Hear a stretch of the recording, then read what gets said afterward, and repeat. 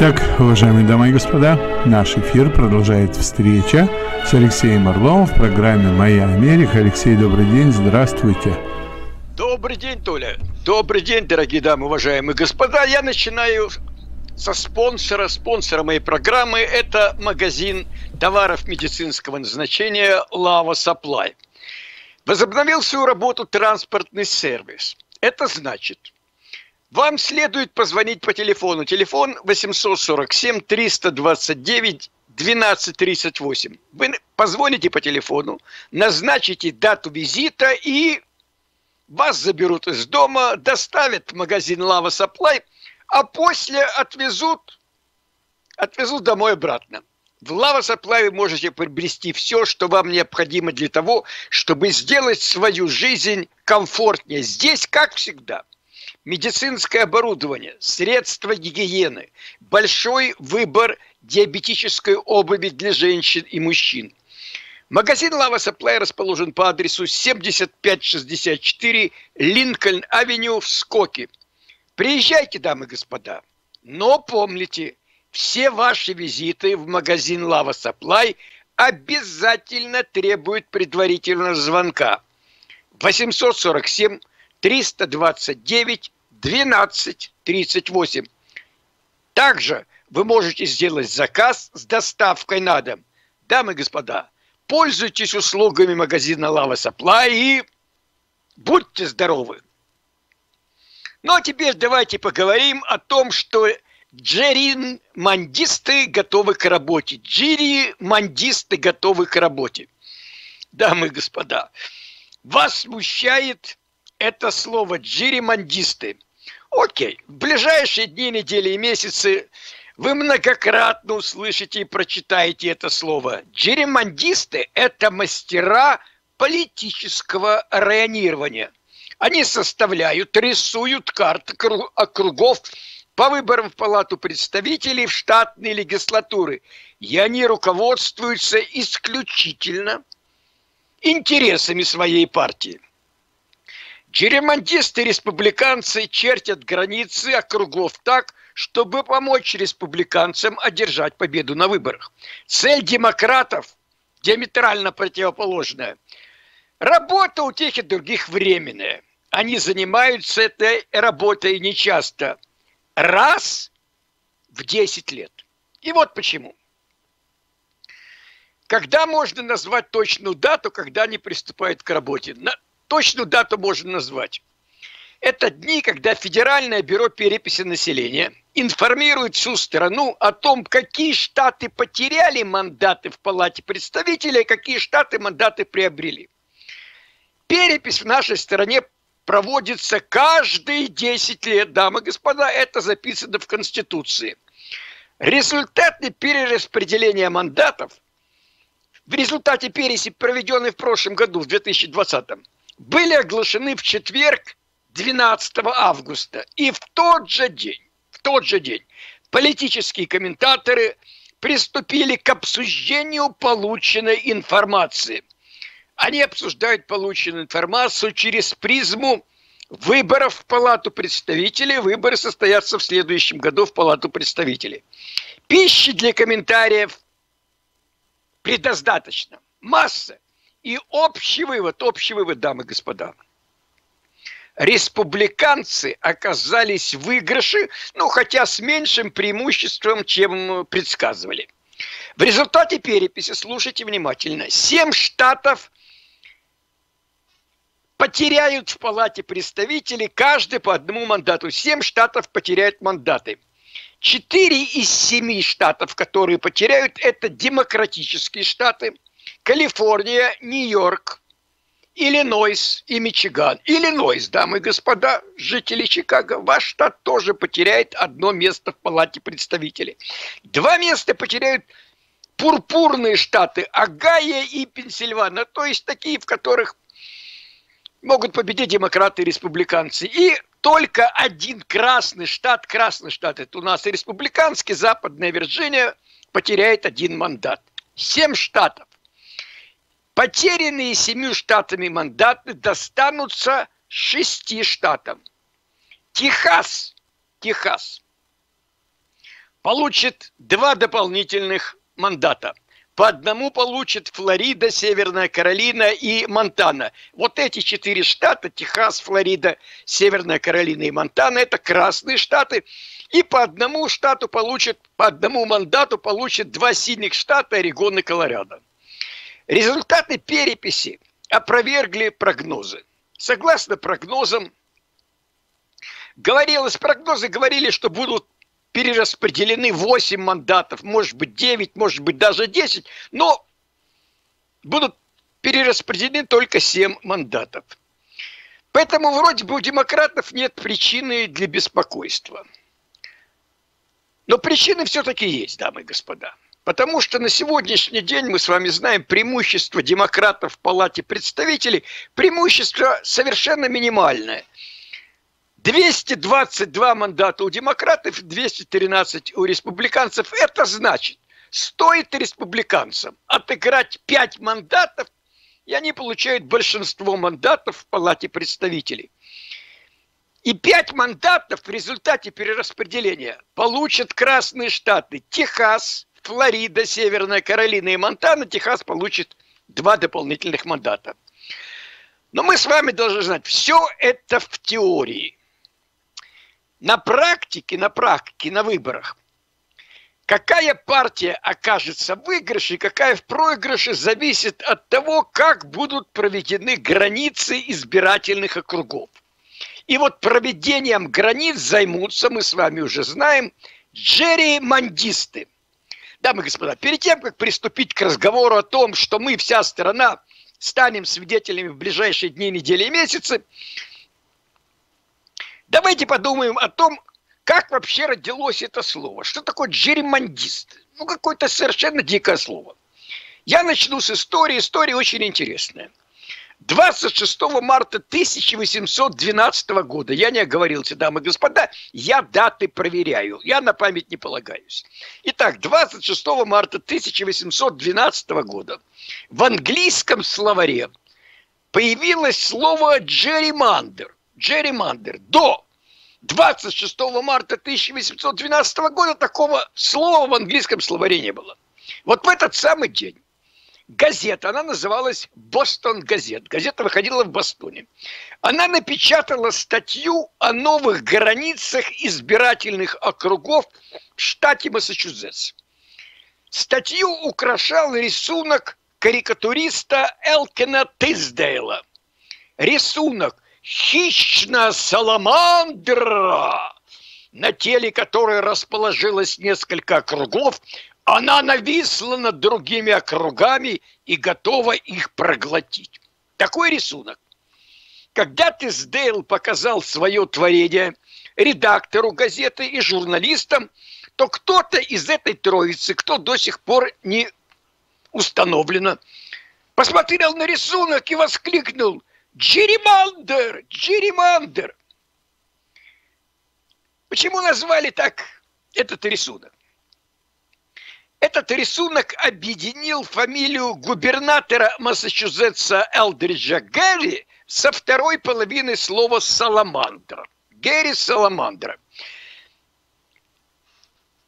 Итак, дамы и господа, давайте вспомним этого человека, политика – Элберта Герри, который дал, ввел в английский язык, позволил ввести в английский язык слово «желемандер».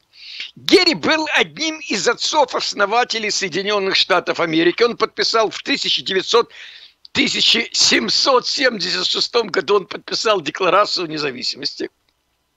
А в 1787 году он был участником Конституционного конгресса был участником Конституционного конгресса.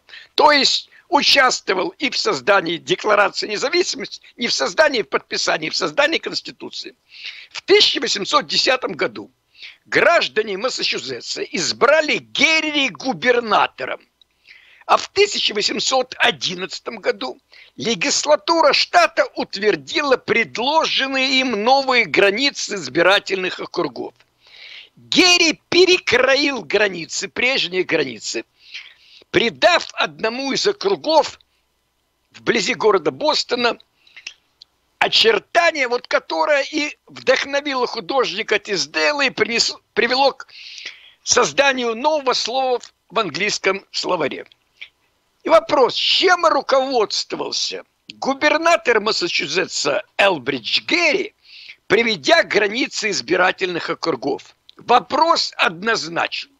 Он руководствовался интересами своей партии. Герри был противником политических партий. Противниками политических партий были все отцы-основатели Соединенных Штатов, и о политических партиях совершенно ничего не говорится в Конституции. Но мы с вами знаем, что вскоре после того, как в 1789 году Джордж Вашингтон занял пост президента и сформировал правительство, едва ли не сразу же родились две партии, федералистская и республиканская. Ну, не путать с республиканской партией, которая существует сегодня. Лидерами федералистов стали президент Вашингтон и министр финансов Александр Гамильтон. А лидером республиканцев стал государственный секретарь Томас Джефферсон, ну, его однопартийцев называли джефферсониевскими республиканцами. Массачусетс – губернатором которого был избран в 1810 году Герри, он являл собой оплот федералистов. А вот Герри, губернатор, был республиканцем.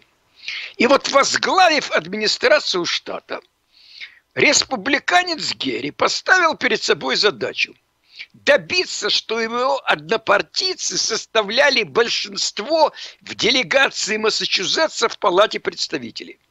Сделать это в федералистском штате было совсем непросто. Но губернатор знал очень хорошо демографию штата. Он знал, где сосредоточены жители-федералисты, а где республиканцы.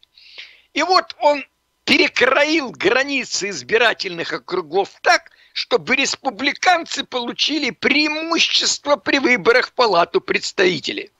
Вот так и родилась карта новых округов Массачусетса, которая вдохновила художника Тиздейла и родила слово «джерримандер», дамы и господа.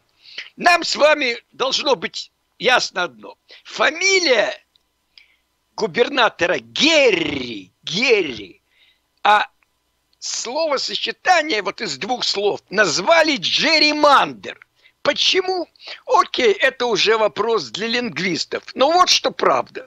Перекроил границы округов первым в истории губернатор Массачусетса Герри. А то, что он создал, назвали джерримандер. Итак, это слово вошло во все языки, вошло и в русский язык. Откройте Википедию, вы найдете по-русски слово «джеримандер». Ну, а от слова «джеримандер» мы образуем слово «джеримандисты», то есть те люди, которые занимаются начертанием новых округов. Джеримандисты занимаются этим в каждом штате. В некоторых штатах есть специальная комиссия, и ведущие роли в этой комиссии принадлежит той партии, которая командует в штате. То есть она командует как законодательной властью, это легислатура, она командует также исполнительной властью губернатор. И вот такие однопартийные комиссии будут заниматься джерриманингом в Техасе и во Флориде, Красных Штатах. И в Калифорнии, в Нью-Йорке это синие штаты. В Пенсильвании мы с вами знаем решение Красной комиссии, потому что легислатура это там республиканская.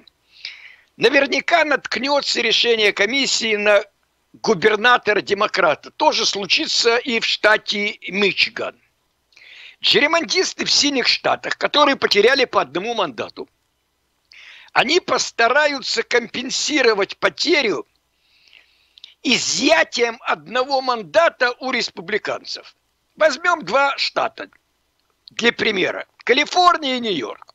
Сегодня в том и другом штате есть округа с депутатами-республиканцами. В Калифорнии 11 республиканских округов, 42 демократических, в Нью-Йорке 8 республиканских округов, 19 демократические. Но когда за дело примутся демократы-джерримандисты в Калифорнии и Нью-Йорке, они постараются создать такие новые округа, которые позволят им сохранить демократам, сохранить за собой мандаты. В Техасе и Флориде республиканцы начинают, начертают округа, чтобы получить еще больше мандатов. Но вот вопрос, дамы и господа. Одно дело составить границы избирательных округов. Это одно дело. Второе – добиться, чтобы эти границы были утверждены судебными инстанциями. И у нас с вами не должно быть ни малейшего сомнения. Как только и республиканцы, и демократы представят в Штатах границы нарисованных их округов, то тут же немедленно за дело возьмутся судебные инстанции. Дело по джерримандингу, дела, не одно дело, не раз и не два и не три рассматривал Верховный суд.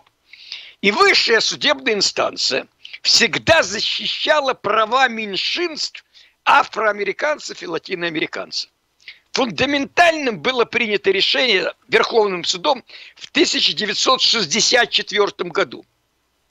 По этому решению меньшинства должны иметь в Нижней палате Конгресса, в палате представителей, соответствующее их численности в том или ином штате. То есть число мандатов должно соответствовать числу жителей в этом штате. Закон об избирательных правах был принят в 1965 году, и вот тогда за дело взялись жеремандисты. Я приведу только один пример. Пример очень интересный. Пример Седьмой округ штата Нью-Йорк. Седьмой округ штата Нью-Йорк. Седьмой округ по выборам в Палату представителей. Долгие годы, долгие годы этот округ был представлен республиканцем. И живут в этом округе большинство белые. Но вот согласно переписи населения 1990 года, контролируемая демократами легислатура штата создала в Нью-Йорке округ, который выбирал бы обязательно латиноамериканцев. И были начертаны границы округа, седьмого округа.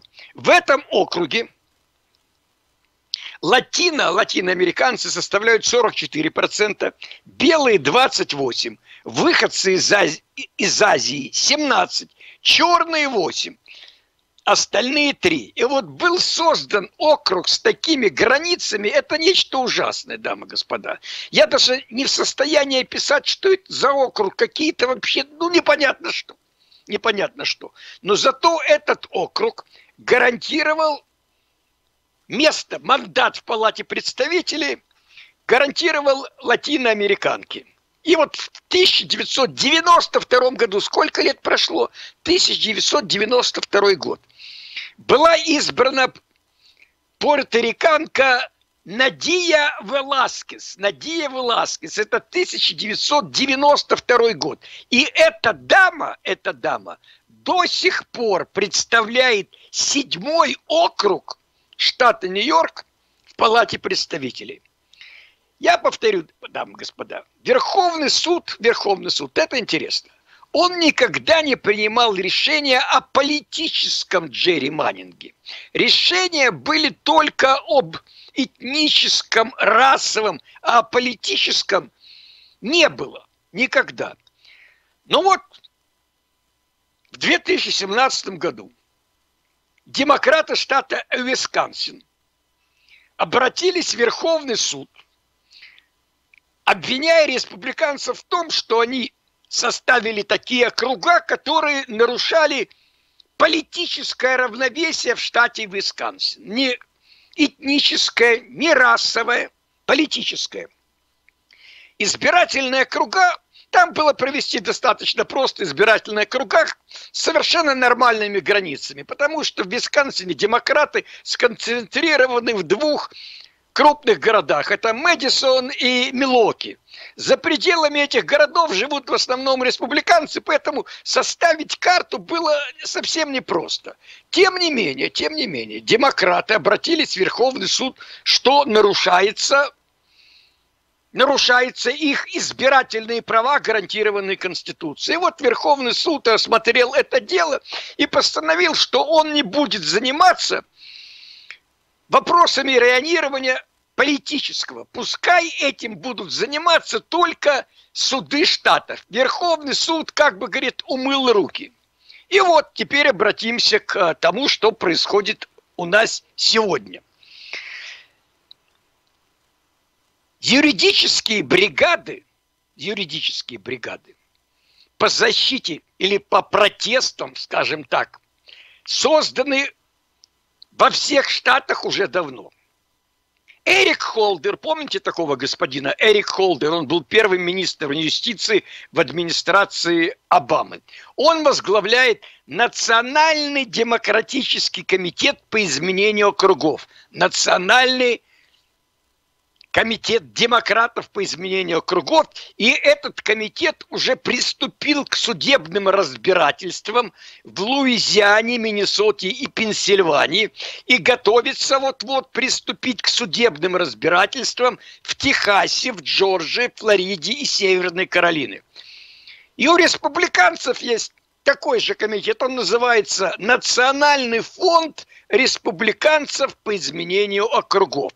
И, конечно же, этот Национальный фонд республиканцев по изменению округов готовится организовать судебные процессы в тех округах, в тех штатах, где границы будут составлять демократы, и границы эти не будут удовлетворять республиканцев.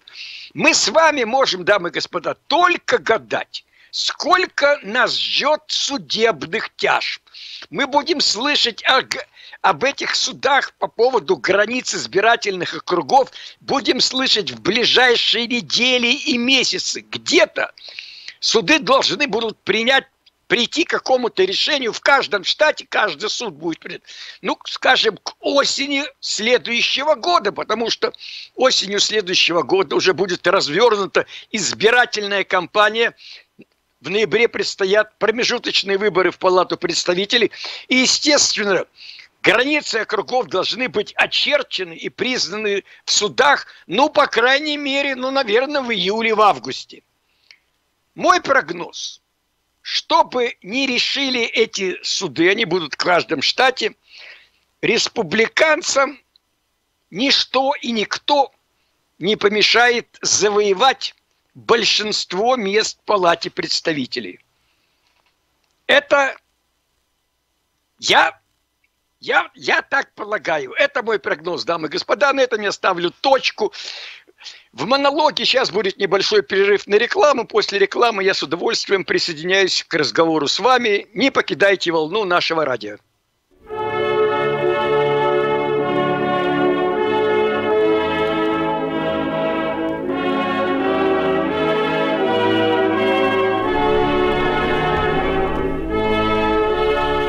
Уважаемые дамы и господа, мы возвращаемся в программу Алексея Орлова «Моя Америка». Номер телефона в студии 847 400 5200. Если у вас появятся вопросы к Алексею, ну или захотите обменяться мнениями, пожалуйста, а, набирайте а, номер телефона в студии. Мы с удовольствием будем с вами общаться. Ага, окей. А, вот появился звонок. Добрый день, вы в эфире. Да, сейчас, одну минуту. А, вот смотрите, как получается, за 7 месяцев своего правления демократы приняли уже столько антиамериканских законов и сделали столько антиамериканских действий, абсолютно отбрасывая даже любую попытку что как-то им помешать. Понимаете? Вот скажите, что им может помешать сейчас предпринять какие-то действия, которые им позволят вот сделать то, о чем вы говорите, перекроить свою пользу округа. Самое простое – раздать нелегалам кучу этих сам, кучу нелегалов, раздать э, американские документы, которые бы могли позволить им легально голосовать. Вот скажите, что может помешать демократам реально что-то изменить? Алексей, прошу. Вы знаете, когда речь идет о э, начертании округов, то это, этим занимается каждый штат в отдельности.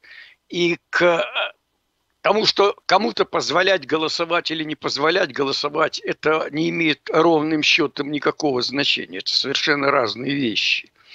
Теперь, если говорить о масштабе, что может вообще помешать что-то сделать демократам, ну, глядите, они имеют на сегодняшний день большинство мест в Палате представителей.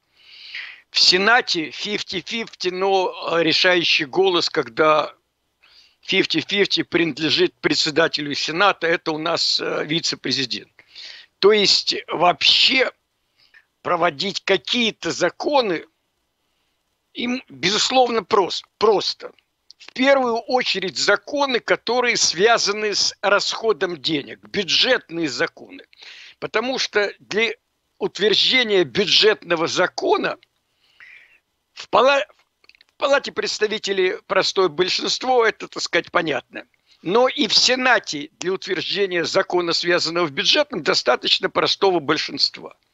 Все остальные законы, которые должны приниматься Конгрессом, они требуют в Сенате 60 голосов. Поэтому 60 голосов у демократов нет. Значит, э, громадное количество законопроектов, которые могут быть приняты палатой представителей, они не могут быть утверждены Сенатом, потому что в Сенате у демократов нет 50 голосов. Что можно сделать, чтобы изменить вот это соотношение сил в Сенате и довести Сенат так же, как и Палату представителей, где абсолютно все били, все законопроекты решаются простым большинством голосов. Для этого нужно отменить правила филибастера, о котором вам не раз рассказывали, я неоднократно рассказывал. Но в, но в Сенате есть два человека, которые категорически против отмены филибастера. То есть это э, сенатор-демократ э, Манчин из Западной Вирджинии и сенаторша из Аризоны Кристин Синема. Значит, если правило филибастера остается в, сине, в силе, то большинство, абсолютное большинство законопроектов, которые будут приняты в Палате представителей, они не будут приняты в Сенате. В частности, речь идет и о первом законопроекте, самым первым, который был принят в начале января этого года только-только Палата представителей приступила к работе. Это законопроект о выборах э, в нашей стране. Это, если бы этот закон был принят, то выборы в том виде, в каком которым мы привыкли, они перестали бы существовать. Потому что в наши дни, согласно Конституции, даже выборами президента и вице-президента, то есть выборами на федеральном уровне, все равно ответственность несет каждый штат но не федеральное правительство. По закону, который принят, законопроекту, который принят Палатой представителей, э, федеральное правительство несет ответственность за все законы. И в этом случае, в этом случае под угрозой может оказаться и то, что мы называем филибастером, когда каждый штат сам рисует свои собственные округа. Пока что этого нет. Поэтому я сразу еще раз отвечу на ваш вопрос. Нелегальные иммигранты и то, что в некоторых штатах нелегальным иммигрантам разрешат голосовать, это не имеет ровным счетом никакого отношения к проведению границ к районированию, к границам избирательных округов как в Палату представителей, так и избирательных округов в легислатуру каждого штата. И повторю еще раз, что если, если филибастер останется в силе, то демократам не удастся провести в жизнь громадное число законопроектов. Правда, у президента Байдена, как и у каждого президента, есть возможность что-то делать президентскими указами. Но президентский указ, он хорош, с одной стороны. С другой стороны, он плох, потому что новый президент может немедленно изменить, э, отвергнуть э, президентский указ, принятый его предшественником. Значит, повторю еще раз. Нас сейчас волнует это районирование, новое районирование, которое будет по выборам в Палату представителей. И я повторю еще раз, что, на мой взгляд, какого бы районирования не было, Палата представителей в следующем году на выборах на выборах следующего года должна стать республиканской, особенно если мы подумаем, что происходит сейчас с демократической партией, в частности с президентом Джо Байденом. Опросы показывают, что его популярность катится вниз. Согласно некоторым опросам, ее деятельность одобряют только 41% американцев. Некоторые опросы говорят, что его одобряют 44% республиканцев. Если рейтинг президента низкий во время накануне э, промежуточных выборов, если рейтинг низкий, то партия президента проигрывает выборы стопроцентно. Поэтому я повторю еще раз свой прогноз, что на промежуточных выборах в следующем году палаты представителей завладеют республиканцы. И я надеюсь, я не утверждаю, но я надеюсь, что у республиканцев есть шансы, пускай не очень большие, вернуть себе большинство мест и Верхней Палате в Сенате. Да, спасибо большое. А, я только что э, человек э, повесил трубку. Пожалуйста, перезвоните. Я видел, что вы звонили. Я просто хотел дать возможность Алексею закончить свою мысль. Ну, а пока человек набирает э, телефон, Алексей, скажите, пожалуйста, вот как вы считаете, э, будут ли все-таки э, ну, я знаю, что филобастер существует, его никто не отменял, пока, слава богу а будет ли возможность а, у демократов все-таки толкать а, Ваш, Вашингтон, а, District of Columbia, как отдельный штат, а, и как вы думаете, что из этого получится? Опять-таки, все зависит от Сената, потому что Палата представителей проголосует за. В Сенате для того, чтобы принять решение, по этому вопросу требуется не менее 60 голосов. Угу. 60 голосов у демократов нету. И если правило филибастера остается в силе, то значит вопрос о том, чтобы Дикстрик Колумбия, федеральный округ Колумбия стал очередным штатом, этого не случится. Для этого нужно 60, не менее 60 голосов сенаторов. Понятно. Так, а, ну что, а, я прошу прощения, я просто слежу за телефонами. А, непонятно, у нас то загорается лампочка, то она гаснет. Ну ладно. А, поступит звонок, я его обязательно приму. А, ну а пока а, вот в отношении районирования а, интересная вещь. Значит, а, когда начнут перекраивать а, район или... Знаете что, давайте я приму звонок потом. А, добрый день, вы в эфире. Здравствуйте. А, уважаемый Алексей, мне будет вопрос немножко э, из другой области. Э, вы как-то говорили, что вы э, посылаете молодым э, республиканцам организации э, большие донейшн большие э, подарки, так сказать. Вот э, они, когда ко мне звонят и начинают просить, э, чтобы я им что-то подарила, я у них спрашиваю, почему они не поддерживали президента Трампа, когда он боролся с фальсификациями на выборах. В ответ, э, никакого ответа, как говорится, объяснения я не получаю. Они говорят «до свидания» и вешают трубку. Вот расскажите, может быть, вы знаете, чем, э, в чем хорошая эта организация? Может, она не такая плохая, что я, так сказать, к ним э, лишние претензии предъявляю? Вы знаете, я должен сказать, что организация Young Republican, она базируется в Калифорнии на ранче Рейгана, то есть в том доме, в котором Рональд Рейган и Нэнси жили последние годы. Я с ними по телефону вообще никогда не разговариваю. Они раз в месяц они мне присылают э, биль какой-то, чтобы я... Во-первых, опять-таки, что значит большие donations? Я мой обыкновенный donations, я чек 50 долларов. То есть, если вы умножите на 12, 50, то такая сумма бывает, значит, в год. Никакие переговоры я с ними не веду. И э, я не знаю, то есть есть масса республиканских организаций, которые звонят мне и просят. И я, как и многие республиканцы, я на, на на мейлинг-лист, потому что как только вы начинаете поддерживать республиканскую партию или подписываться на республиканские издания, ну, например, на National Review, если вы подписаны на журнал National Review или вы подписаны на журнал Washington Examiner или вы подписаны на газеты, сейчас это новая газета «Эхо», то ваш, э, ваш, ваш имейл и ваш телефон, ну, немедленно попадают в список республиканцев, и вам начинают звонить. Я в телефонных разговорах вообще не участвую, говорю спасибо и вешаю трубку. Повторю еще раз, что касается Young Republican, то с этой организацией у меня не телефонные разговоры, а, а общение письменно и по e-mail. Кстати, я также, кроме Young Republican, есть еще организация, которой я жертвую деньги постоянно. Это Hillsday College. Hills, Хиллсдей колледж. Это один из немногих колледжей. Он колледж, но это высшее учебное заведение, четырех лет, потом у них есть постградуэйшн, конечно.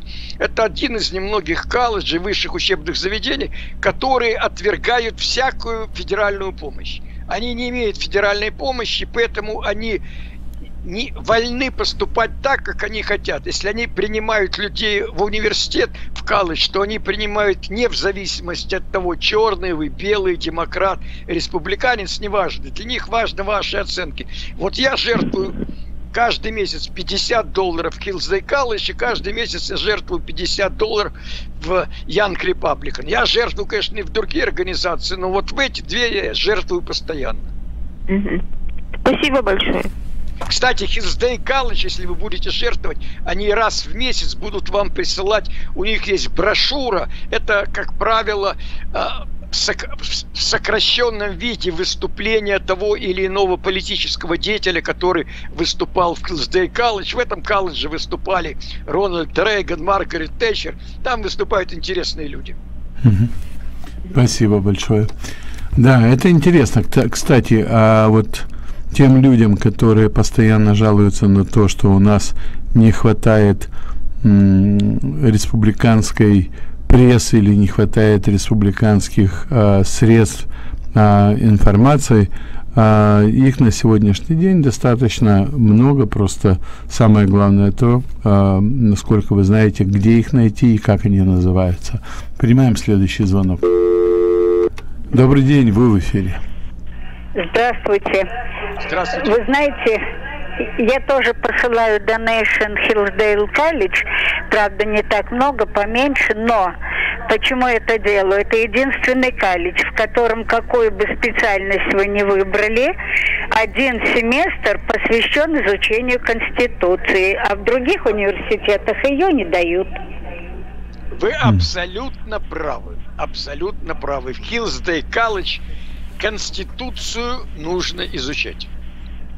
И это очень важно. Спасибо большое. Добрый день, вы в эфире. Говорите, пожалуйста.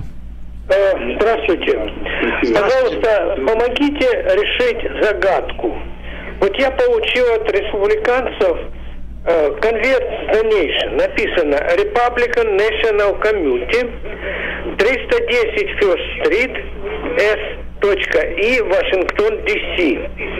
А в конверте, который нужно, на конверте, который нужно отправить, написано HF39 Republican National Committee PO Box 758 610 Токека, Канзас.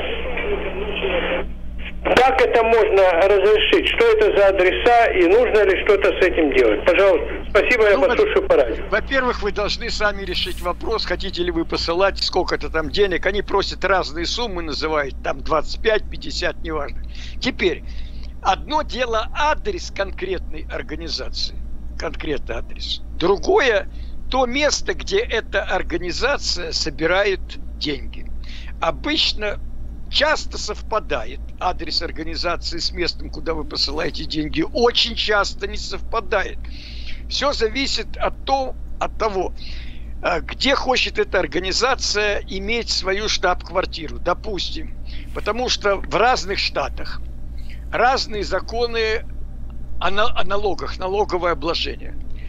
Поэтому многие организации предпочитают располагаться, чтобы у них была штаб-квартира или финансовый отдел, скажем так, где они собирают деньги, в тех штатах, где налог меньше, чем там, где находится сама организация. Совершенно неудивительно, что организация, которая находится в Вашингтоне, предлагает посыла, дает вам конверт с адресом, не, не своим адресом, а с адресом своего, своего, своей финансовой конторы. В этом нет ничего удивительного. Но вопрос опять-таки стоит так. Вы должны сами для себя решить, надо посылать им деньги или не надо посылать. Вот и все. Ну и спасибо большое. Добрый день, вы в эфире. Алло. Да, говорите, добрый пожалуйста. День, добрый день.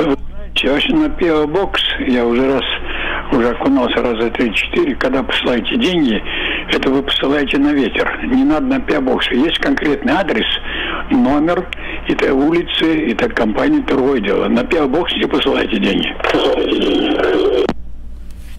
Я не советую э, воспринимать всерьез э, совет этого господина. Есть масса организаций, почтовый ящик вы туда посылаете. Вы должны знать организацию, кому вы посылаете и что. Но вы не посылаете деньги на ветер. Теперь, дамы и господа, когда та или иная организация обращается ко мне с просьбой о донейшн, о пожертвовании, Первое, что я делаю, если я хочу с этой организацией иметь дело, я связываюсь с этой организацией и задаю им конкретный вопрос. Сколько вашей организации находится сотрудников на зарплате? Если не секрет, какие у, у них зарплаты? Значит, э, большинство организаций на такой вопрос не отвечают, и эти организации от меня денег естественно, не получит.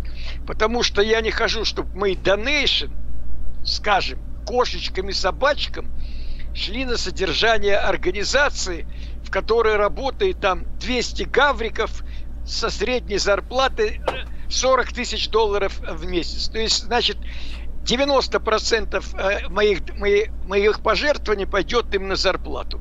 Поэтому, опять-таки, когда вы получаете просьбы о donations, пожертвования от какой-нибудь организации, не поленитесь узнать, что из себя представляет эта организация, какой у нее штат. Может быть, вам удастся узнать, какое помещение она арендует, сколько платит за аренду, а может быть она имеет собственное помещение. Во всяком случае, вы распоряжаетесь своими деньгами, и вы должны знать, э, будут ли ваши деньги истрачены так, как вы хотите, или ваши деньги будут э, частью зарплаты какого-нибудь господина или госпожи. Абсолютно с вами согласен. А, это, конечно же, больше касается того, какая часть денег попадает фактически на то э, пожертвование, которое вы даете. То есть, если организация 90%, 95% э, отдает деньги на пожертвования э, те, которые вы э, посчитали нужным, это одно. Если она тратит 90%, как Алексей сказал, на зарплату своих работников, она, конечно, не должна э, привлекать ваше внимание однозначно. Добрый день, вы в эфире. А, добрый день. А скажите, пожалуйста, я посылаю деньги в RNC, Republican National Committee. Это, это тоже надо проверять? Ну, нет. Republican National Committee проверять не нужно. Republican National Committee, естественно, имеет громадный штат. Совершенно естественно. Но и Republican National Committee получает, даже если мы будем предполагать, что миллион человек пошлют Republican National Committee по 10 долларов, то, в общем-то, большая часть этих денег, она... Потом, понимаете, когда речь идет о Republican National Committee, вы прекрасно понимаете, чем занимаются люди, которые там работают. То есть они работают на республиканскую партию. И значит, нет ничего страшного, что ваши деньги идут, ну, им на зарплату, к примеру, или на их деятельность. Это разные вещи. А Поэтому одно дело политическая организация, а другое дело масса других организаций. Когда я говорю, что нужно узнать, на что идут деньги, я имею в виду прежде всего не политическую организацию, не демократическую партию, не республиканскую партию. Я имею в виду массу общественных организаций. Называйте их как хотите, но это разные вещи. А я посылаю деньги в Национальный комитет Республиканской партии. Я прекрасно понимаю, что на что идут мои деньги. Они, может быть, все мои деньги, которые я посылаю, не идут на зарплату республиканцев. Но республиканцы занимаются тем делом, которое, ради которого я им жертвую деньги. Да, согласен. А, итак, Алексей, у нас есть три минутки, прошу вас. Минутка, одна минутка, дамы и господа, обычная. Я вам покажу свою книжечку. Книжечку. Называется «Черные республиканцы». Я... Эта книжка для тех, кто, э, кого интересует история, так же, как и моя первая книжка «Тень проклятия Текумсе над Белым домом». Если вас американская история не интересует, то не тратьте время и не тратьте деньги. Ту и другую книжку вы можете купить на Амазоне ту и другую книжку. И ту и другую книжку вы можете купить у меня. Чтобы купить у меня, очень просто. Вы узнаете мой адрес – емельный адрес. В офисе нашей радиостанции вам сообщат мой имейльный адрес. Вы посылаете мне на этот имейльный адрес свою просьбу со своим адресом. Я вам сообщаю свой домашний адрес. И вы потом на домашний адрес посылаете чек на 20 долларов и получаете за это книжку. Это то, что касается книжки. Опять-таки советую тем, кто интересуется американской историей. Что касается следующей передачи.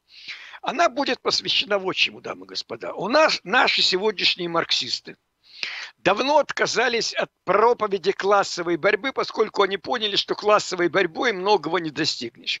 Они классовую борьбу заменили расовой борьбой за, за помощь меньшинством расам. Они взяли на вооружение критическую расовую теорию. Есть такая критическая расовая теория, которая сейчас гуляет по стране, преподается в университетах, не только в университетах, преподается в школах. И вот на, ровно через неделю речь пойдет о том, как марксизм, марксистские деятели сменили классовую борьбу на расовую критическую теорию.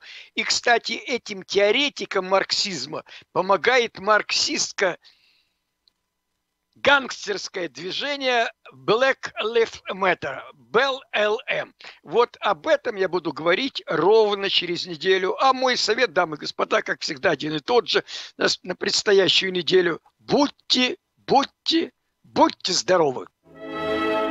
Спасибо огромное, Алексей. Мы вам тоже желаем здоровья, удачи, успехов и услышимся в следующую среду. Будьте здоровы.